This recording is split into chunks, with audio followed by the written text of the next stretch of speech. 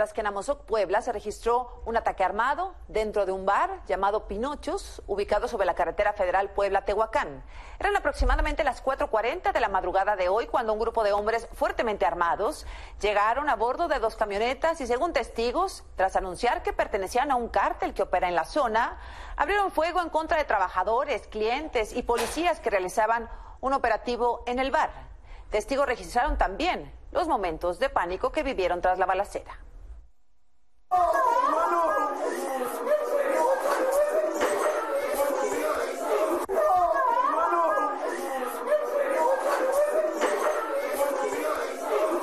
Balazando desde afuera. Ay,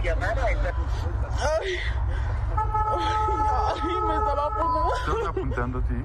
Sí, yo dije ya valí. ¿Cuántos muertos? No sé, no vi, no vi, no vi. Yo salí corriendo. Ay. ¿Dónde estás? Apúrate, ven por mí. Pues las autoridades no han dicho mucho. Dice que hay, dicen que hay seis personas heridas, pero pues muchos hablan de al menos cinco muertos y ocho heridos. Cámaras de seguridad instaladas en calles cercanas al bar también captaron el ataque.